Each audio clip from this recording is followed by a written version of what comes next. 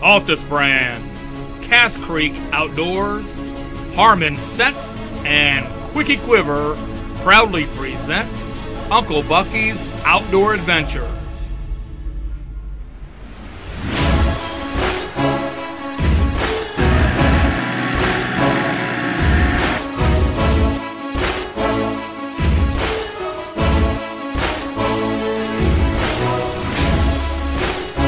Gonna go out there, we're gonna kill us a turkey today.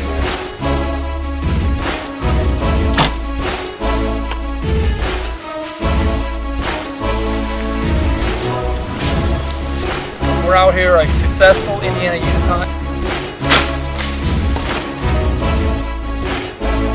Guys, check out this freak rack bucket. Thank you, Lord, for the life of this deer.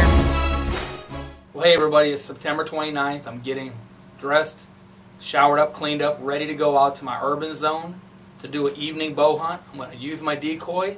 I think it's about that time. I've got in my one area this buck right here with uh, three or four different stickers on him. I've got him coming out in the evening, right about dark time. So I think as we progress, he's getting a little bit earlier every day. So hopefully catch him right before dark, come out, get him to come into the decoy, and we can get a shot on him and get him on video. But you never know until you go out. So let me get showered up, cleaned up, and I'll catch you back out in the Jeep. Out in the Jeep, and uh, before I head out, as always, I'm going to thank the Lord for an opportunity. Lord, I thank you for this opportunity. I thank you for all you do and all you bless with us. Lord, I, I thank you for the healing of our friend Clay. And it just shows your awesomeness and when someone trusts you, what can be done through prayer. And I just thank you for that, Lord. And I just ask that you watch over the family as I'm gone. Watch over all my friends right now that are having turmoil in their life, Lord, and bring them calmness and, and stillness and, and peace to their heart. And I just thank you for all your blessings. Ask that you watch over all of us hunters tonight. And if it's your will, let us be successful. No matter what, we give you the glory and honor. In Jesus' name, amen. Well, I made it out. Now I'm getting ready and getting out to my stand. Let me show you my setup for today. I'm set up on a clear cut that's just 30 yards wide.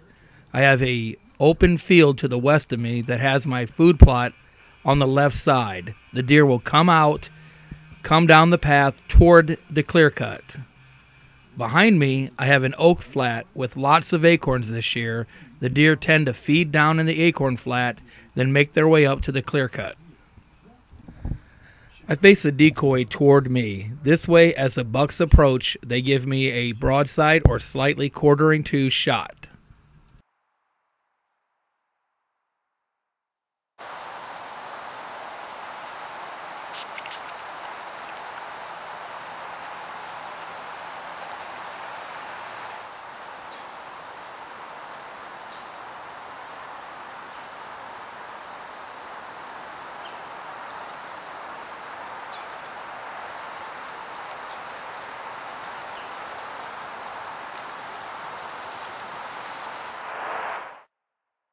I keep a picture of my mom on my bow in memory of her and to constantly remind me of all she inspired me to do.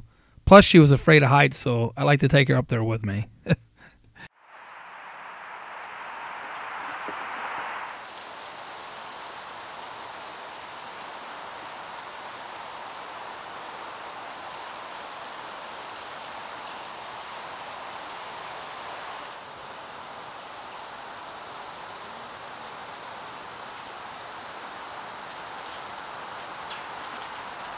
I've been asked by several viewers about my bow setup, so here we go.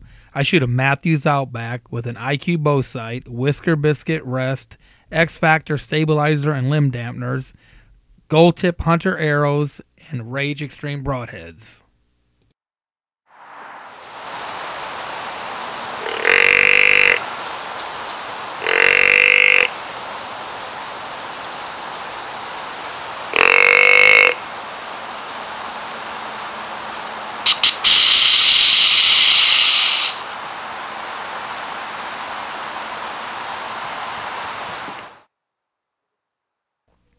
Well, just a little bit after seven, I notice a deer coming out of the woods, and I noticed right away by the rack that it's a deer that we call Droopy. September 16th. I had him come all the way to 18 yards broadside, unable to shoot because I had not yet filled my earn a buck doe tag.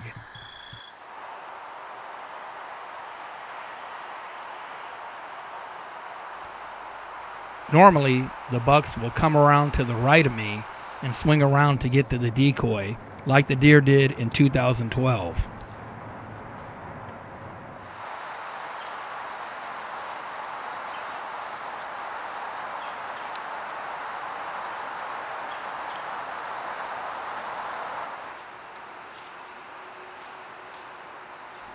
Well, Droopy had to be different. As you hear, he starts to walk, and instead of going to the right, he starts to head to the left and cut around to check out the decoy.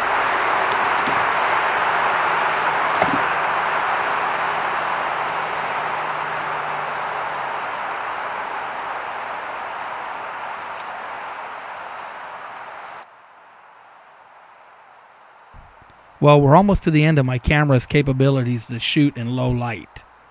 So I get ready, swing to my left, and now watch as the action unfolds. Watch right here.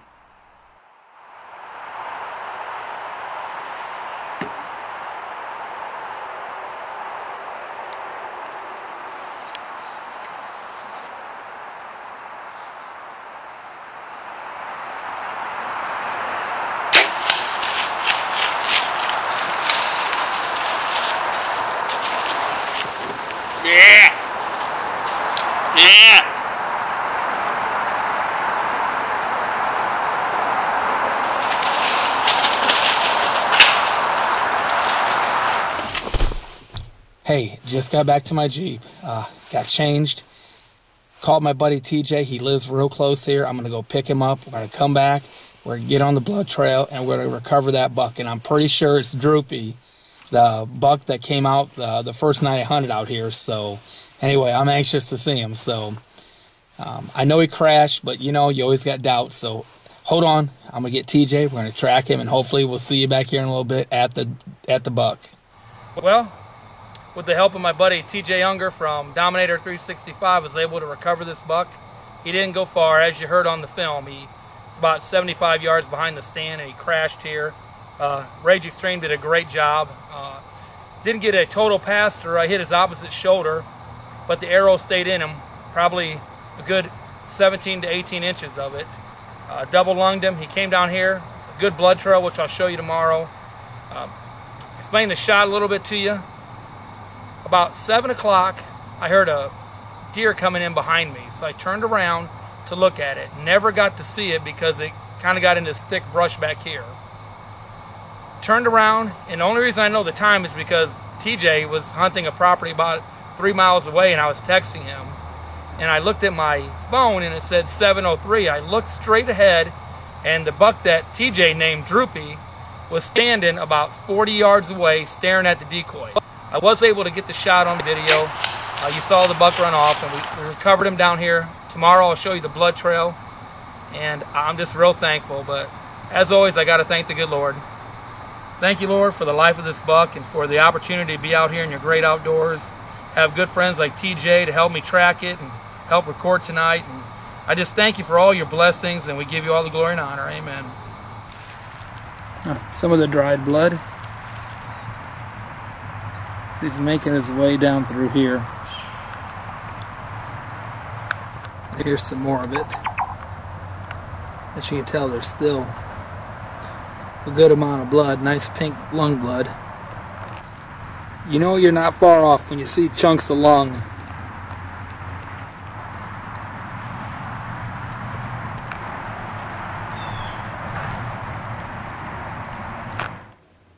Here we go, guys. Official weigh-in. Looks like 196, 197. We thought he was in the 180, 185 range, but wow, heavier than we thought.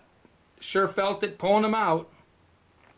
Well, I was happy to get my number one target buck on the ground. Unfortunately, as you saw, he broke off the one side of his main beam, and I don't know what exactly had happened, whether it was a fight, a tree, or when he crashed. But he's still a great buck. I'm still happy to be able to take him. And right before we leave, I want to take a moment to ask you to please wear your safety harnesses. Our good friend Gary from the bear hunt a couple years ago fell out of a tree stand 35 feet and was not wearing a harness. Fortunately for Gary, he landed in a manner that uh, saved his life, but it broke his elbow and he's sore and he's going to be hurting for quite some time. It takes a minute of your time each time you hunt to put the safety harness on and to take it off and to latch into the tree. A minute of your time could save years out of work, a death, serious injury, a lot of complications for your loved ones, and negative publicity for our sport.